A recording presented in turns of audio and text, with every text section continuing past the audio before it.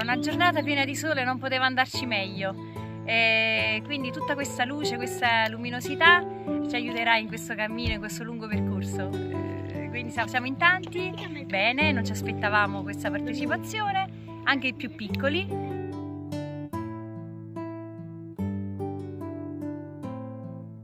Oggi abbiamo eh, piantato decine e decine di querce in, nell'osi zone umide beneventane che non è solamente eh, una, un'osi che non protegge solamente un tratto di fiume, di fiume, Calore ma anche degli ambiti collinari.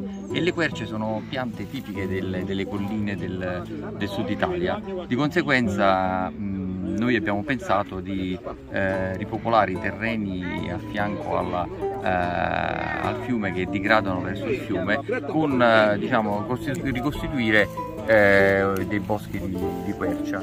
È una bellissima giornata, l'occasione per ricontattare la natura e se stessi. Per stancarsi anche, stancarsi fisicamente, che è importante, stancarsi fisicamente, questa società tutta virtuale. E niente, sicuramente eh, il mondo ha bisogno di alberi, di filiera corta, della relazione corta col mondo esterno a noi.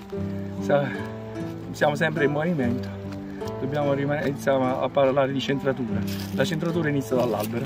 E quindi diciamo, abbiamo organizzato questa proprio in occasione della festa dell'albero, una festa nazionale, giornata nazionale dell'albero, abbiamo organizzato questo evento eh, grazie diciamo, alle piante fornite dal, dai vivai forestali eh, della, regione, della, regione, Campania eh, e, e, e, ai terreni che ci ha dato in gestione la provincia di eh, Benevento. Ha partecipato anche il comune di Benevento con l'assessore eh, all'ambiente Rosa e, con, eh, e, anche la presidente della commissione eh, ambiente del, del, comune. Quindi diciamo siamo eh, molto soddisfatti di come eh, è andata la giornata, ma nei prossimi mesi continueremo questa opera di riforestazione in quest'area.